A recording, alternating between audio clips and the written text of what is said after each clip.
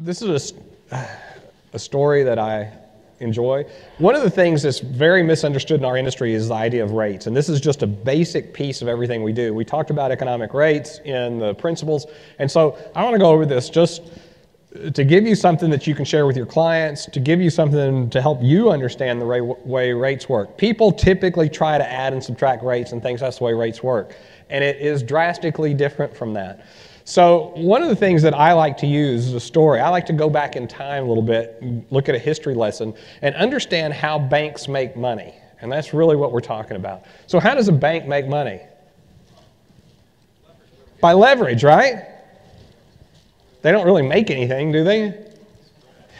No, but it's a spread. How does a retail business that sells widgets make money? By leverage, right? It's the same it's, it's really the same principle. It's just the difference between marking up money and marking up things, right? So it's, it's the same idea. So let's look at how this works. Um, so, those of you that are around and understood finance back in the 80s, what was the economic environment like from the standpoint of interest rates, bank rates? Very high, right? CD rates were, they actually jumped above 10%. They didn't stay there. But it's interesting. We hadn't seen that before in history.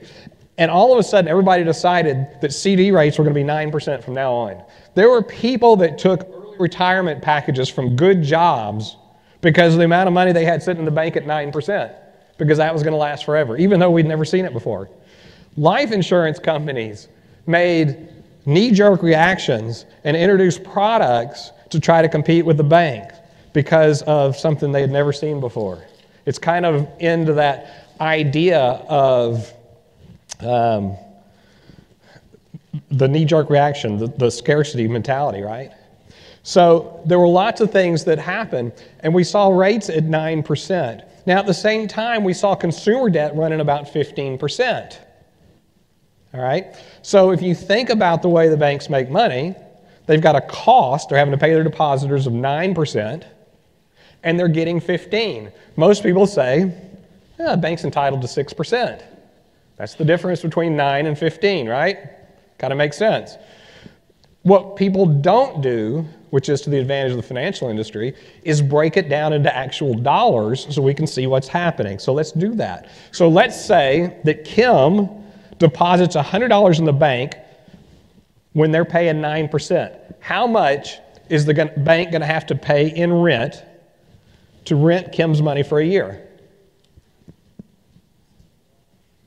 How much? Nine dollars, right? Nine percent of a hundred. So they're going to pay Kim nine dollars. Now, if I come along and I need a hundred dollars, is the bank going to loan me their money, or are they going to sublet Kim's money to me? They're going to sublet Kim's money to me, right? And we'll, we'll, we'll look at why that is in just a minute. So, at a 15% rate, how much am I going to have to pay for the privilege of renting Kim's money for a year? $15. In one year, or per year, is not a 6% rate of return, it's a 66.67% rate of return. If I can buy hammers, I have a hardware store, and I can buy hammers for $9 and sell them for $15, do I call that a 6% markup? No, it is a 66.67% markup. And the fact that banks do it with money, there's no difference. It's the same thing, they're just marking up money. Okay, so let's look at why they don't use their own money. So just get me another one, just temporarily, if you would. All right, so if the bank, when I came in and I needed money, if the bank put their money in the deal, how much money would they have to invest? $100, right? That would be their cost. So they'd have to put 100 in and they'd get 115 back in a year, which would be only 15%. So through the power of leverages, leverage, through the power of OPM, other people's money, they were able to turn what would have been 15% into 66.67. With me so far? Okay, now, let's go into the end of the 80s and the beginning of the 90s. What happened to interest rates? they fell to nothing, right? We had the S&L debacle. yeah, right? Almost overnight, we saw CD rates drop to three. And it's interesting how that happened. So, Alan Greenspan was head of the Federal Reserve. And what's also interesting is Alan Greenspan was an Austrian in his economic thought. That's where his principles were. But he gave in on his principles. He violated his principles and started manipulating interest rates. What was the result of that? And this is the way he passed it off. He said, Look, if we can artificially change the interest rates, we can lower them, which will create consumer spending, which will bail the banks out. Seemed logical, even though it was against what it was supposed to be, because interest rates should be the buffer of any economy. Think about this when money is tight, there's not a lot. Where should interest rates be? High, right? When there's plenty of money laying around and nobody needs it, where should interest rates be? Low. That should not be something that gets manipulated. It should just automatically, with supply and demand, happen. But we got into a scenario of manipulating interest rates. And we, what do you think happened to the people that took the early retirement packages under the 9% scenario when all of a sudden those CD rates are earning 3 instead of 9? That's right. They learned, learned a new phrase, right? Welcome to Walmart. Had to pick up another job, go back to work. Probably not at the same level that they left, right? Um, one of those black swan events. Okay, so we saw CD rates go to three, and what the banks did was they kept the spread that they were using at these other rates of 6%. So, what does that mean? How much were they loaning money at? What was the rate? Nine, right? All right, so they're paying $3 per hundred and they're loaning it out at $9 per hundred. It's the same 6% spread. It's got to be the same 66.67, right? Per year is now 200%. What's interesting is this, when they dropped interest rates, the banks were bailed out in a matter of months. Not for the reason that Alan Greenspan said, and that was consumer spending, but because simple financial mathematics. If we can lower the cost, keep the spread the same, all of a sudden our rate of return goes to 200%. You can look at this and say, oh, this is impossible. This takes a paradigm shift, and it's going to take that paradigm shift for your clients too. So let's think about this and how this could possibly be. So if we look at pure dollars in the first transaction, how much money was made? Six dollars. If the banks pool of money that they had to invest was limited at $9, how many transactions on that second one could they do? And how much do they make on each transaction? No, in dollars. Six dollars, right? So here, with nine dollars, they get six dollars. Over there, for nine dollars, they get eighteen dollars, or three times as much for the same investment, right? Guess what 3 times 66.67 is? 200. Questions on that? And what does that mean? Banks are bad? Well, maybe. But that's really not the point. The point is, if we can get our head around this and understand what's going on, maybe we can play the role of the bank. What if we could do this instead? Maybe not at this level, because you know, with the fractional reserve system, um, if we did it, it'd be illegal, even though they're able to get away with it, right? But, but let's look at it a smaller piece. What if, as an example, had a child, a grandchild, that had taken on some debt while they were going through college? Is that a possibility? What's the rate going to be on that debt on credit card for a non income earning college student? 23, 4%, somewhere along in there? Would it be beneficial for that child or grandchild if you bought that debt from them and charged them 10% instead of the 23 or 24 they're paying? Be huge, wouldn't it? Especially with what we understand on the way interest rates work. What if you had a source of money and it was going to cost you 8%? Well, you can look at that and say, well, 8 to 10, that's only two points. What's, that's, that's no good. It's not the way interest rates work. Let's put it in here. 8 to 10 per year is a 25% rate of return for you.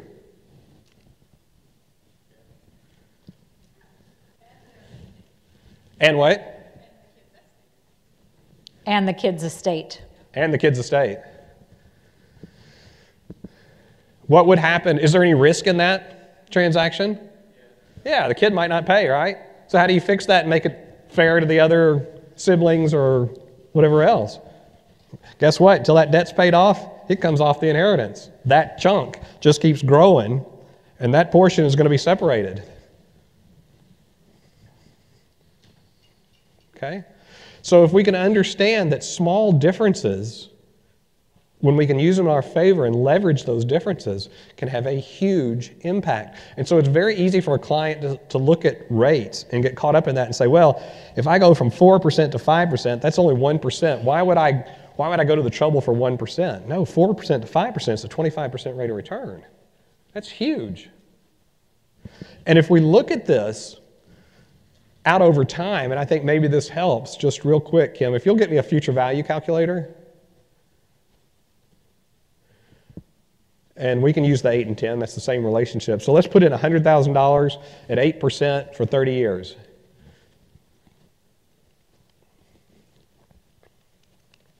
And then let's put in, give me another one, and put in $100,000 at 10% for 30 years.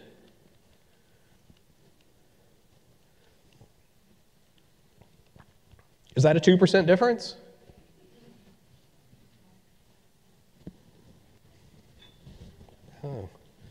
Okay, we need to understand how interest rates work. That doesn't need to drive every decision we make, but we need to keep things in line. And if we can understand that and the principles behind it, then we can easily make decisions. So let me ask you this. If you had an investment opportunity and you could find money at 4%, and this investment was going to earn three, would that be a good decision? What about the other way around? What if we could find money at three and be able to earn four? So we need to start understanding how interest rates work. And when we extend that out, we start to understand the fallacies and some of the stuff that we're being told that's easy to sell. One of the things that we've been putting out there is the lie is easier to tell than the truth is to explain. Okay? The lie is always a one liner. But to explain the truth, you have to give a whole paragraph or a whole page. So your job is in that education process is not as easy as it is for the lie to spread. So when, when somebody says something along the lines of, you're going to pay more cumulative interest on a 15 year, on a 30 year mortgage than you are on a 15 year mortgage. That is absolute fact. But that does not mean that the 30 year mortgage cost more than the 15. Because if we understand the way, rates work, and I can stretch that out, why in the world would I take, based on what we know here, 5% potential dollars to pay down deductible debt that maybe cost me at 3, 3.5%? Wouldn't I be better off having the debt at three and a half while I'm earning 5% on the money instead? Yet people get caught up on the wrong thing. They make decisions out of scarcity, they see the amount of interest cumulative over time, and they lose the point of what's really happening to them. And so we've got to keep that in focus and understand what's going on because of the size of debt, we literally, and I'm sure some of you do too, have clients that have $15,000, $20,000 worth of 18% credit card debt that they're, they're letting ride because they've got half a million dollars worth of debt on their house that's costing them a net 3%. And they're doubling up on the house payment and letting 18% debt ride because the difference between $500,000 of debt and $20,000 or $18,000 of debt or whatever the credit card debt is, they're missing the point. It's not the amount of money that's there, it's what it's costing them to finance it. Make sense?